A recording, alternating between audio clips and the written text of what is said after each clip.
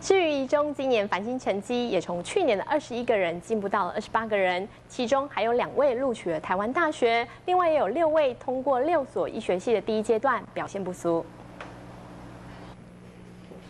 在这次录取的二十八位学生当中，有十五位顺利考上国立大学，其中陈立富同学因为热爱物理化学，所以凭着优异表现录取台大电机工程。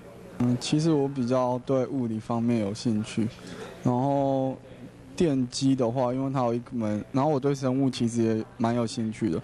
电机的有一门可以走生医工程的，然后我未来希望能走生医工程那方面的机械，所以选电机，就刚好能把物理跟生物都结合在一起。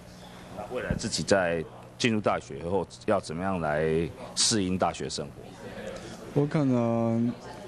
我在上大学前，我应该会先去看买一些英文的书来看吧。先就是先修一些英文，然后还有一些数学跟物理也会先读一些。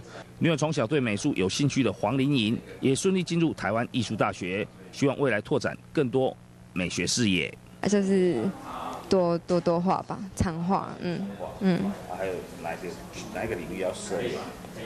嗯，油画，油画比较想尝试。所以目前是水彩比较多。嗯，比较喜欢。未来，未来就油画那类的。嗯。那立体的东西会不会接触？嗯，会试试看。一中表示，从去年二十一位繁星推荐到今年二十八位，可见学生表现年年有进步，也期盼这群准大学生未来更要累积基本学识实力，才能继续在课业上有所成长。那我想这边非常感谢哈，我们老师的指导哈，以及我们同学的这样的一个辛勤的一个努力。哎，那我也期许哈，我们呃一中的孩子哈，那么进入大学之后哈，那么。基本功哈还是最重要哈。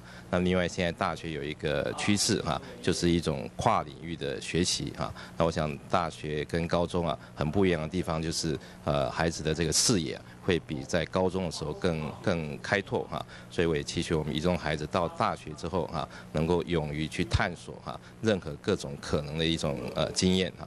另外一中也有六位学生通过六校的医学系，希望面试能够更顺利，全部录取。宜兰新闻记者张丽玲采访报道。